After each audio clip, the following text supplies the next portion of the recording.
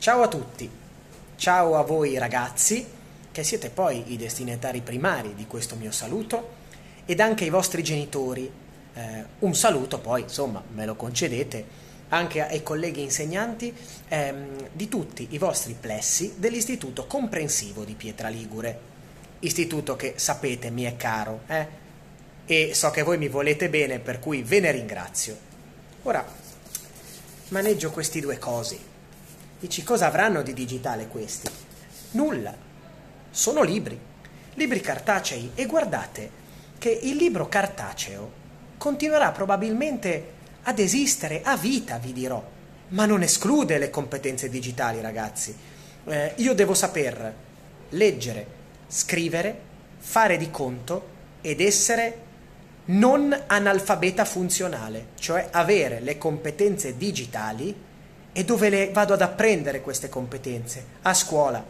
Il momento che stiamo vivendo particolare, chiamiamolo così, non vi permette di essere nelle vostre aule fisiche con i vostri insegnanti, ma vi permette, grazie alla tecnologia, di essere comunque con i vostri insegnanti e con i vostri compagni.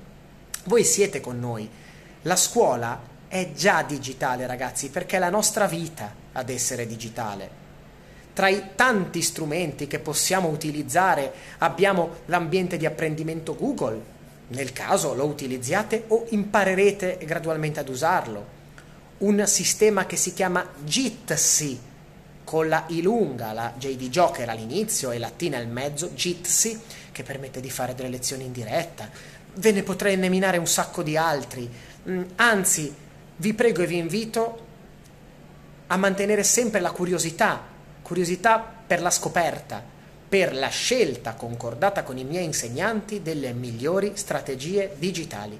Dateci una mano, dateci una mano. Eh, questo periodo storico un pochino particolare che stiamo vivendo è un periodo che però non ci impone, diciamo, l'ozio, cioè il riposo, ci esorta a documentarci, a tenerci attivi, a tenere il cervello acceso qualunque sia la disciplina che andiamo a studiare.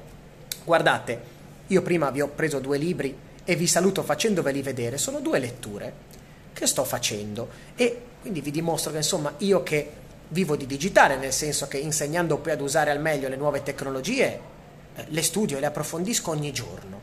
Però insomma, leggo sia il giornale in cartaceo che il libro cartaceo, ma guai se io non avessi le competenze digitali e mediali Guai se io non avessi imparato nel tempo e io non sapessi trasferirvi l'importanza di confrontare e approfondire. Ricercate e controllate sempre le fonti su internet, ragazzi.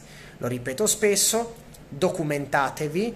Eh, se fate una ricerca tramite motore di ricerca Google, controllate almeno 3 o 4 risultati verificando che dicano la stessa cosa.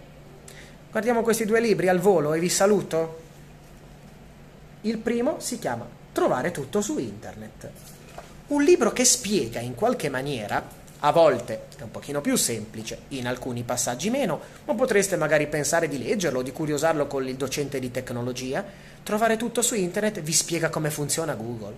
Guardate che Google ha un funzionamento eh, davvero particolare. Sfoglio un attimo con voi. Guardate a pagina 12 già trovo scritto navigare in un oceano di informazioni eh, e ho veramente dei dati incredibili. Eh, 159 miliardi di ricerche su Google, rapportati su scala mensile. Questo è un libro piuttosto aggiornato, i numeri sono molto variabili. E così come andiamo a leggere il libro Trovare tutto su internet, vi mostro un libro, La ragazza che legge le nuvole, che invece è un libro leggero, piacevole, un libro di lettura, ben scritto, che mi ha consigliato un collega, un insegnante, si chiama il professor Panetta, che non è dell'Istituto Comprensivo di Pietra, dove avete gli ottimi docenti che vi accompagnano, però è un amico che mi ha fatto fare questa riflessione, quella con cui io vi saluto.